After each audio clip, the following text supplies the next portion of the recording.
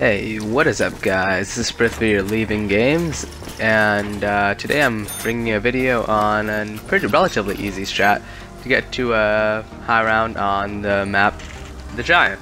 Now currently the Giant's only available for Season Pass holders or people that bought the special edition to the game, but I'm sure it'll be available soon for everybody else for like $5 or something like that. So um, this video is going to be about an easy tutorial um, or a strategy to get to a pretty decent round on this map. And it really isn't a very complicated strategy whatsoever. Essentially all you have to do is camp up on this catwalk right here. Now, camping up on the catwalk normally with just like a normal pack-a-punch gun will last you to leave at around 30, but what makes this strat really useful is having the turned perk on your weapon. So, in Black Ops 3, what you can do is if you pack-a-punch a gun more than once, um, the second, third, fourth, etc. time will give you a random perk. And there's several different perks it'll give you on your gun, an element, uh, um, a specific type of damage. The best two are Blast Furnace and Turn. Um, here I'm using the turn furnace because that's what's most useful when you're camping. If you're running trains, I would suggest using the blast furnace perk because what the blast furnace perk does is that um, it basically sets all the zombies on fire and kills them instantly. Well, what the turn perk does, is you're seeing in the gameplay behind you, is it turns one of the zombies into um, a friendly, and the zombie goes and kills people. Now, that's super useful for when you're doing the strategy up here because you're just sitting in a corner here, and if you have a zombie that's running at the um, zombies, at the other zombies, it'll be relatively helpful because it, will help kill the zombies and lighten the load for what you actually have to kill. And just sitting up here, you can normally survive up to like round 50 or so, just sitting in this corner, just having two pack-punch guns. I would suggest having two wall guns and having turret buck on them. All you have to do is just shoot a few zombies in the head, and one of them will turn into a uh, turn zombie. Now, normally the turn zombie, because you're in such a narrow corridor, will sometimes it'll jump down there like you saw right there. Other times it'll just stand in front of you and just block the other zombies from hitting you and which is also super useful, so you can just keep on shooting them while the other zombie blocks them. Um, one thing to note about this strategy, though, is that dogs will not be killed by the turn zombie. You have to kill those by yourself. And uh, if you ever do get overrun doing this strategy, which you will eventually, you can drop down, as you saw me drop down right there, and you can run this really small train right here. It's a pretty easy train, and um, you basically have to do the same thing. Just shoot them.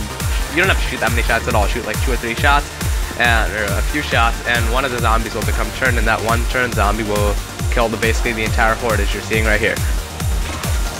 The turn zombie just killing everything, and so uh, the strategy is actually relatively easy. Just when you get to the higher rounds, you might find the need to train, but by that time you'll be at least round 50, and you should be good. And as you're seeing right here is the reason why you want to have wall weapons as your two weapons, because you can just um, buy ammo whenever you need to. And you're going to be running out of ammo a lot when you're doing this strategy. And, um, yeah, so uh, that's pretty much the strategy. And another thing is to note about this is you want to be going for headshots because headshots kill them the fastest with these weapons. And you also earn the most uh, zombies XP from doing this. So you can actually get, like, if you make it around 50 or so, you can get a, like a good 5 or 6 levels from this which is super useful if you're trying to prestige in zombies or even unlock attachments for weapons. This is a really effective way to use it because the headshots earn more weapon XP, and uh, you can unlock these attachments. Like right here on this um, Vespers you're seeing right here, I have um, attachments like Rapid Fire, Fast Mags, um, I think uh, I have red, I have Elo sight on there, and um, these attachments are super useful because they basically substitute for other perks. Like I don't even need to have double tap or speed cola on this weapon because I already have the rapid fire and the fast mag. But having those two perks makes the gun shoot even faster and reload even faster. Like um, you're probably gonna see right here in a second here.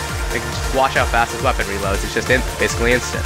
So having these types of perks and leveling up the weapons is also super useful as well. And um, basically the strat really easy. You can level up quite a bit doing this, and um, you can make it to a pretty good, high, pretty decent round. If you're playing with a friend, it's a little bit easier too because you don't have to just rely on yourself. You, in case you might run out of ammo, you can have a friend there with you that also has plenty of ammo. Now, when you're doing the strat, I would not suggest having an LMG because although LMGs have more ammo, it also takes forever to reload, which might um, hinder you later on in the higher rounds when you need to reload right away. So I would just stick to uh, the wall weapons, as you can see here. So, um, yeah, that's pretty much it for the strategy. Uh, leave a comment down below if you like um, these types of videos. If you do, then um, I'll probably be posting more of these zombie tips videos. Um, uh, so yeah. Thanks for watching. Uh, make sure you like the video if you enjoyed it and subscribe for more content. So uh, that's pretty much it, um, and I'll see you guys later. Bye.